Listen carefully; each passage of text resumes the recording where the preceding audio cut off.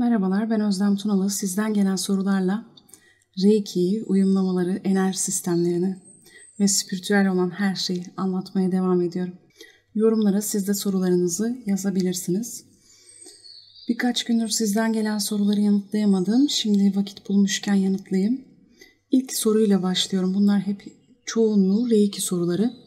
Hocam merhaba. Bir arkadaşıma Usui Reiki bir seviye uyumlamasını yapmıştım. İnisiye sonrası çok yoğun hissettiğini söylemişti. Dün akşam ikinci seviye uyumlamasını yaptım. Bu sefer ilki gibi değildi. Bir şey hissetmedim dedi. Bu neden kaynaklanıyor acaba? Sizce uyumlama nasıl sonuçlandı? Bir saatlik zaman sanki 10 saat gibi geldi dedi. Uyumlama esnasında bende akış oldu.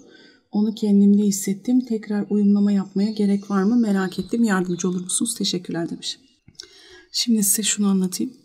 Her Reiki sisteminde, enerji sisteminde, her seviyede, her uyumlamada uyumlarken farklı hissedersiniz. Kimisinde çok hissedeceksiniz, kimisinde daha az hissedeceksiniz. Kimisinde zangır zangır enerjiyle titrersiniz. Kimi enerjiler vücudumuzun bazı bölgelerinde dolaşır. Kimisini daha az hissedeceğiz, olabilir. Bu konuyu biraz açayım. Eğer siz uyumlamanızı e, bir saat yaptıysanız ki ben öğrencilerime de bir saat yapmasını tavsiye ediyorum. Güzelce niyetinizi ettiniz, gözlerinizi kapattınız. Zaten karşılıklı niyetleri edince uyumlama kendiliğinden başlıyor. Sonra yani çok da böyle atraksiyona falan gerek yok. O yüzden zaten bu bu kadar kolay ve kolay olduğu için de bu kadar güzel. Karşı tarafın hissetmesi ya da hissetmemesi hiç önemli değil. Hatta sizin de hissedip hissetmemeniz önemli değil. Ne demek istiyorum? Şimdi uyumlamaya başladınız, niyetinizi ettiniz ve uyumlama gerçekleşti. Ha ben hissetmedim dedi. Hissetmeyebilir, olabilir.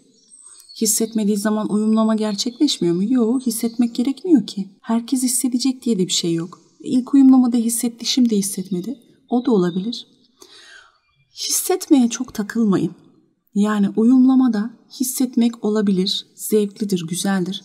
Ama diyelim ki bir uyumlamada çok hissettiniz, zangır zangır enerji akışını hissettiniz. Diğer uyumlamada hiç hissetmediniz. Bu sorun mudur? Hiç değil. Önemli olan ne biliyor musun? Uyumlamanın gerçekleşmesi. Uyumlamayı siz yaptıktan sonra öğrenciniz o uyumlamayı kullanabiliyorsa, güzelce kendine aktif pasif çalışabiliyorsa, öğrencinize güzelce öğrettiğinizse uyumlamanın sonuçları daha çok önemli. Kendine güzelce şifa yapabiliyorsa tamamdır. Tamamdır. Şimdi size şöyle bir şey söyleyeyim. Uyumlamada zangır zangır hissetse sonrasından kendine şifa yapamasa ne işe yarar? Hani uyumlamada bir saat boyunca hissetmek çok mu önemli? Zevkli bir şeydir. Ben de çok severim. Ama bunun dışında herhangi bir önemi var mı? Analiz yapabiliriz. Şuramda gezdi, buramda gezdi diye.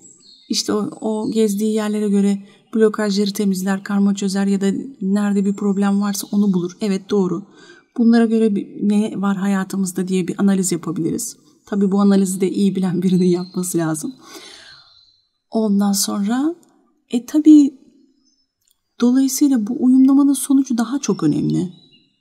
Diyelim ki karşıdaki kişi hissetmedi. Ne olacak? Hiçbir şey olmaz. Hiçbir problem olmaz. Bir problem olur mu? Hayır. Siz öğrencinize deyin ki uyumlamamız gayet başarılı şekilde gerçekleşti ve uyumlamanızı artık aktif ve pasif olarak kullanabilirsiniz. Zaten ona da dosyasını yolladıysanız devamında sorularını dinlersiniz ve güzelce o da bunu çalışır. Değil mi? Sistemini çalışır. Bu şekilde düşünebilirsiniz. Yani siz kafanızda şunu tutun. Uyumlamada hissetmek, hissetmemek hiç önemli bir şey değildir. Önemli olan uyumlamanın sonrası. Uyumlamayı, e, o enerji sistemini güzel kullanabiliyor musun? İşine yarıyor mu? Bir ağrını geçirebiliyor musun? Kendine dermanın var mı? Kendine şifa yapabiliyor musun? Asıl bu önemli. Asıl bu önemli. Yoksa uyumlamada çok hissetmişsin, az hissetmişsin. Burası çok önemli bir şey değil. Değil mi? Hiç önemli bir şey değil. O yüzden siz de öğrencinize bunu aktarın. Bana bu soruyu sorduğunuz için bu kadar detay veriyorum.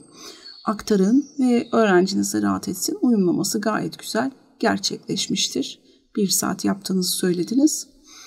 Dolayısıyla gayet güzel şekilde öğrenciniz de bu uyumlamasını kullanabilir. Diğer sorularla devam edeceğiz.